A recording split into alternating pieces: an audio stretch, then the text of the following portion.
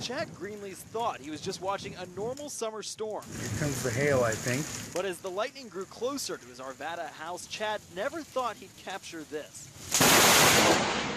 Just as the camera went black, so did Chad's ability to function. I was really incoherent. My ear really hurts and rings still. But somehow he's still standing. Chad says after the strike, he was physically paralyzed. You can even hear him fall to the ground. then the video cuts off. Can you believe what was actually captured on tape? No.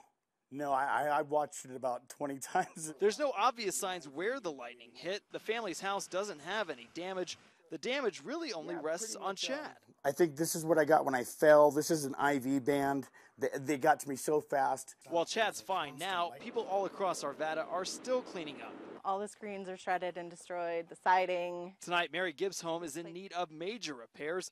The hail chipped away at her siding, and the wind filled her yard with plenty of debris. All of a sudden, there was tree limbs down, and there was like piles of hail, and I was like, "Oh my goodness!" The storm also responsible for knocking out power for some 11,000 people across Denver, but by this evening, that number is down to less than 100.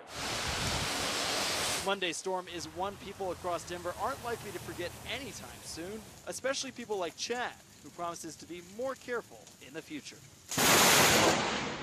I don't think I'll go playing in the rain as much as I used to. I really don't.